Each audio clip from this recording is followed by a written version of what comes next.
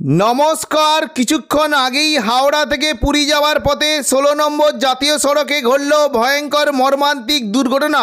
পুরী যাওয়ার সময় একটি যাত্রী বোঝাই গাড়ি নিয়ন্ত্রণ হারিয়ে একটি লরিকে সজোরে ধাক্কা মারে।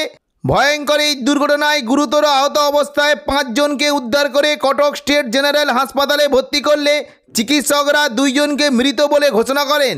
খবর পাওয়া মাত্রই সেখানে পৌঁছে যায় উড়িষ্যা থানার পুলিশ। কোথায় ও কীভাবে ঘটলো এই ভয়াবহ দুর্ঘটনা বিস্তারিত আলোচনা করব এই খবরে। খবরটি শেষ অবধি অবশ্যই দেখবেন। পুলিশ সূত্রের খবর অনুযায়ী ভোর রাতে হাওড়া সাঁকরাইল থেকে একটি জাইলো গাড়িতে করে পাঁচ বন্ধু পুরী বেড়াতে যাওয়ার উদ্দেশ্যে রওনা দিয়েছিল।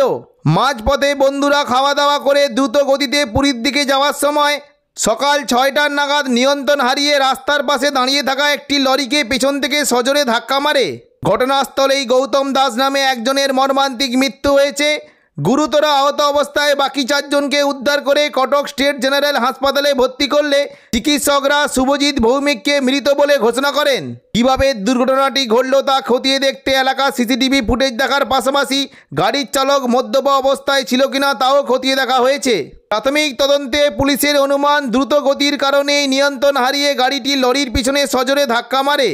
ইতিমধ্যেই লরির চালককে আটক করার পাশাপাশি গাড়ির পারমিট সহ সব কিছু সঠিক আছে কিনা তাও খতিয়ে দেখা হয়েছে।